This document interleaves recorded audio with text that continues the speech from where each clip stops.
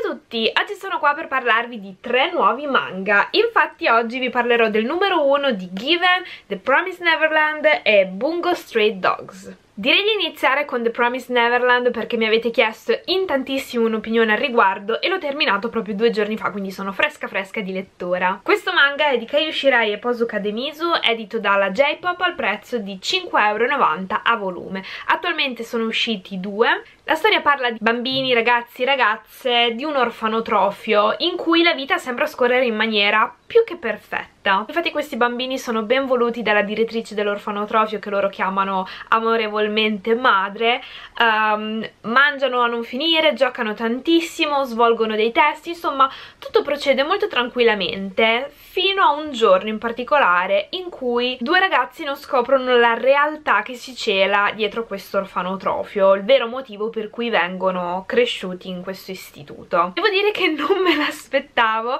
ero riuscita a tenermi eh, libera da spoiler fino alla lettura di questo volume quindi sono rimasta molto scioccata da questa rivelazione che sconvolgerà totalmente le vite di questi ragazzi oltre comunque alla mia sorpresa iniziale devo dire che la storia non mi è dispiaciuta affatto un po' per questo lato sorprendente che ti lascia veramente senza parole un po' perché ho trovato questo mondo diciamo distopico molto interessante in questo primo volume ci vengono accennate soltanto uh, alcune cose abbastanza cupe e tetre che riguardano dei ragazzi, dei bambini alla fine in questo orfanotrofio ci sono bambini da un anno fino a 11-12 quindi sono veramente giovanissimi e dovranno far fronte a delle problematiche invece molto serie e adulte inoltre la loro realtà è molto candida, innocente sono tutti molto felici di stare in questo orfanotrofio, si considerano tutti fratelli anche se provengono ovviamente da, da, famiglie diverse. Sono vestiti tutti rigorosamente di bianco, hanno un numero identificativo sul collo e uh, non immaginano nemmeno quello che, che realmente accade insomma ed è abbastanza sconcertante. Ci sono dei momenti nel manga in cui tutto scorre molto felice i personaggi hanno dei volti molto rilassati super sorridenti quasi proprio a deformare i, i lineamenti del viso e dei momenti in cui uh, cambia tutto completamente. La drammaticità viene espressa molto bene nei volti dei personaggi è una cosa che mi ha colpito tanto perché sembra quasi uh, di vedere due personaggi diversi. Quando qualcuno è felice e poi invece teso per la situazione che, che, si viene a presentare insomma. Mi è piaciuto questo tratto abbastanza distintivo dei disegni anche se devo dire che non mi fanno totalmente impazzire perché li vedo un po' come schiacciati però si tratta di un mio gusto personale insomma. Vi faccio vedere qualche tavola per darvi giusto un'idea del tratto uh, di questo shonen. Devo dire che non leggo tantissimi shonen perché uh, non sempre sono molto nelle mie corde. Questo mi intriga tantissimo. Come vi dicevo la storia viene appena accennata uh, in questo primo volume vengono poste le basi per qualcosa che si prospetta veramente fuori di testa quindi io non vedo l'ora di recuperare il secondo volume. Anzi la J-Pop è stata così gentile da inviarmi già il numero 2 quindi penso che terminato questo video mi fionderò a leggerlo. Il secondo manga di cui voglio parlare oggi è Bungo Stray Dogs. Questo manga è di Kafka Asagiri e Sango Arukawa edito dalla Planet Manga al prezzo di 4,50€ non è nuovissimo questo manga è uscito già da qualche mese. Io l'avevo recuperato all'epoca ma poi è rimasto lì a prendere polvere eh, in libreria però era una storia che mi incuriosiva tantissimo perché si tratta di un crime. Sapete che io ho il pallino per le storie di, di crimine investigative e i protagonisti di questa storia sono dei detective ispirati a personaggi letterari principalmente giapponesi. La storia si apre con questo ragazzo che viene cacciato da un orfanotrofio e sta praticamente morendo di fame. Si decide a rapinare il primo passante solo che questo si getta nel fiume perché cerca di suicidarsi e viene fuori che fa parte di una società di detective con poteri particolari. Ho trovato le premesse di questo manga molto interessanti perché si mescolano elementi reali a elementi fantasiosi. Infatti i personaggi eh, fanno parte di una società più o meno moderna, si ispirano a personaggi realmente esistiti non soltanto per il nome, per eh, il nome della loro diciamo tecnica, del loro potere principale, ma alcuni riprendono anche delle caratteristiche dei personaggi personaggi realmente vissuti. E poi come dicevo c'è questo lato più paranormale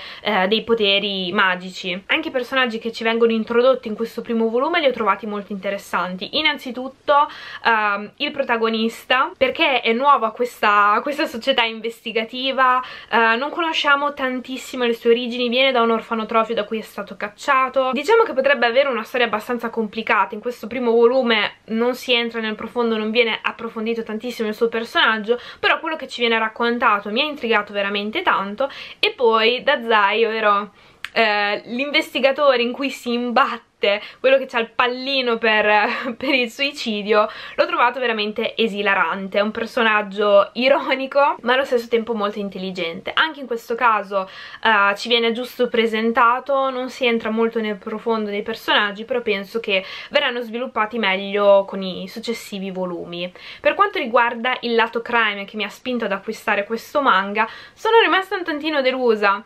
Ovviamente si tratta di un primo volume, quindi non si poteva entrare proprio nel vivo dell'azione già da adesso, lo capisco, però mi aspettavo un lato un po' più serio per quanto riguarda l'investigazione, invece ho trovato tutto molto più leggero e superficiale. Il tratto non mi è dispiaciuto affatto, mi piacciono molto i disegni, come vengono rappresentati i personaggi, mi piacciono un po' meno le scene d'azione perché le trovo un po' più um, complicate da seguire. Però nel complesso devo dire che è un manga che ha stuzzicato molto il mio interesse.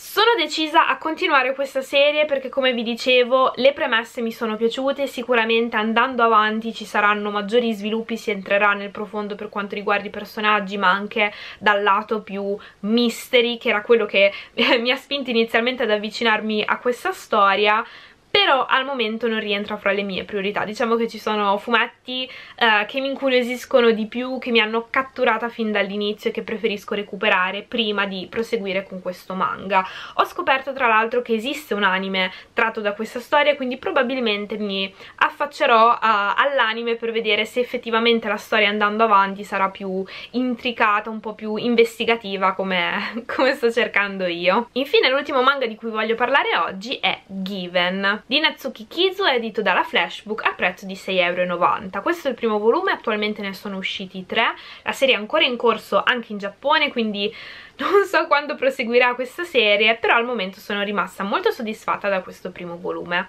Ve ne avevo già parlato un po' di tempo fa perché non è una mia lettura recente però ci tenevo a parlarvene anche qua in video perché è un manga che mi ha sorpresa. Dalle premesse non si presentava come un manga che potesse piacermi perché parla tanto di musica e io faccio un po' fatica a ingranare con uh, i manga che parlano di sport o ad esempio di musica. Uno dei protagonisti infatti Mafuyu cerca la l'aiuto uh, di un altro compagno di scuola perché vuole aggiustare la sua chitarra e imparare a suonarla. Il ragazzo a cui si rivolge, Ueno Yama, è un ragazzo abbastanza annoiato dalla sua vita di tutti i giorni, stanco del basket, stanco della musica, ma conoscendo Mafuyu qualcosa si metterà in moto, inizierà a conoscere pian piano questo ragazzo, interessarsi sempre di più a lui e rimane molto colpito dalla sua voce quando lo sente cantare. All'inizio mi sembrava una storia abbastanza normale, una, una, come tanti in cui due ragazzi si incontrano, hanno una passione in comune, iniziano a conoscersi, inizia magari un'amicizia o forse qualcosa di più, insomma una storia di vita quotidiana scolastica abbastanza nella norma.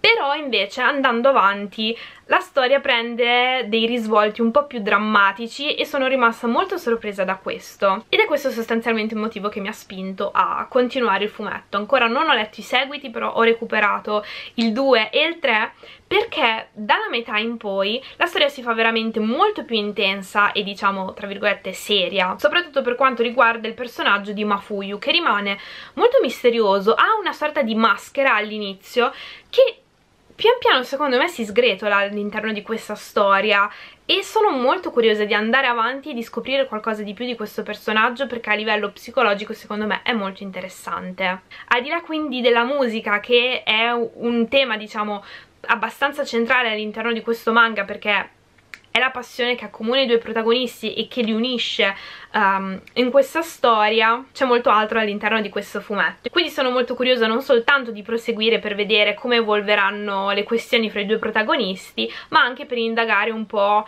il dramma uh, che vede protagonista in particolare Mafuyu che a livello diciamo emotivo mi ha colpito particolarmente. Il tratto di questa autrice mi è piaciuto fin da subito, mi piace molto la pulizia e la raffinatezza che mette uh, nei suoi personaggi e secondo me Ueno Yama in particolare ha uno spettro di espressività molto variegato e mi è piaciuto tanto. Ci sono molti momenti in cui è serio, cupo, tenebroso, ma altri in cui è veramente buffo e fa ridere e mi è piaciuta quindi questa diversità di, di espressione. Poi ci sono tavole così che veramente sono quasi poetiche, veramente mi, mi sono piaciuti tanti i disegni di questo manga e sono curiosissima di proseguire la storia. Si tratta di un fumetto che parla sì di vita quotidiana, di una grande passione per la musica, ma affronta anche tematiche LGBT. Queste erano quindi le mie prime impressioni su questi tre manga. Fatemi sapere ovviamente qua sotto nei commenti se li avete letti anche voi, se avete già proseguito la lettura di questi volumi,